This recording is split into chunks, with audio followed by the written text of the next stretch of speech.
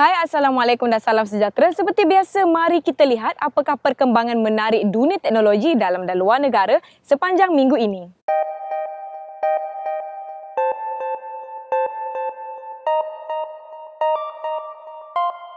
Berita minggu ini dimulakan dengan pelancaran Asus ZenBook UX305 di Malaysia dengan membawakan reka bentuk nipis dengan chip pemprosesan Intel Core M. Ia didatangkan dengan pilihan storan serendah 128GB SSD, memori 4GB RAM, 3 port USB 3.0, 10 jam penggunaan bateri dan dijual bermula RM2,399. Selain ZenBook baru, mereka juga turut melancarkan Transformer Book Qi iaitu komputer dua dalam satu berasaskan Intel Core M yang juga membawakan reka bentuk nipis. Ia hadir dengan storan 128GB SSD, pilihan memori serendah 4GB RAM, skrin HD penuh, 8 jam penggunaan bateri dan ditawarkan bermula RM3,199. Bersama-sama dengannya, mereka turut mengumumkan Transformer Boot T100 Qi yang membawakan rekaan baru, skrin HD penuh dan sokongan kamera di bahagian belakang.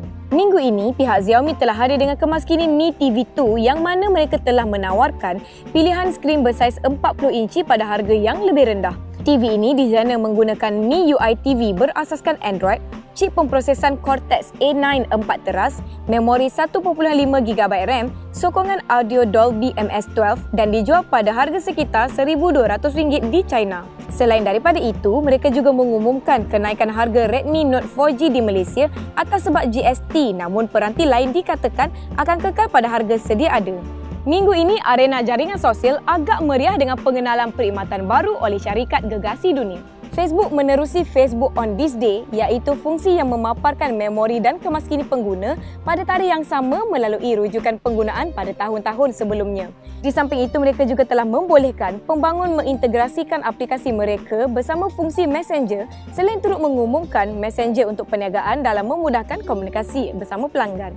Twitter pada minggu ini telah melancarkan aplikasi penstreaman video langsung yang dikenali sebagai Periscope. Melalui aplikasi ini, pengguna boleh melakukan penstreaman video langsung melalui kamera peranti namun ia hanya ditawarkan di iPhone dan iPad buat masa ini. Selain Periscope, pihak Twitter juga bakal membolehkan pengguna tag lokasi dengan lebih spesifik untuk sesuatu tweet hasil daripada kerjasama mereka bersama pihak Foursquare. Instagram pula dilihat telah memperkenalkan aplikasi baru dalam memudahkan pengguna membuat gambar collage menerusi aplikasi layout. Melaluinya, pengguna boleh memilih beberapa pilihan rekaan yang disediakan dan seterusnya memilih beberapa gambar untuk disusun sebelum ia dihantar ke Instagram. Ha, ada tak di kalangan penonton Amas pengguna Telegram, jika anda sudah mengemaskini aplikasi Telegram anda, anda pasti perasan sebenarnya Telegram telah mengaktifkan fungsi hashtag. Jadi, jika anda pernah menggunakan hashtag pada perbualan-perbualan sebelumnya, anda boleh trace balik dengan dengan menekan hashtag tersebut kerana hashtag tersebut akan muncul dengan warna biru. Minggu ini pihak Microsoft telah mengumumkan kerjasama dengan Samsung dan Dell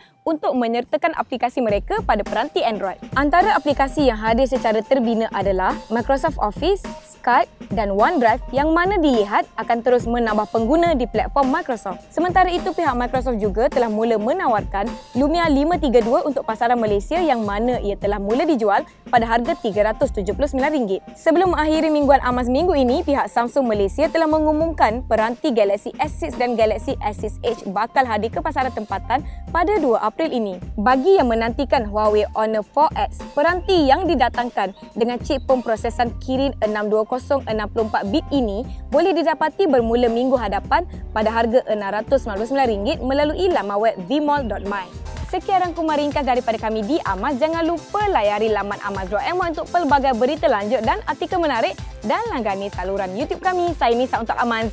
Yosh!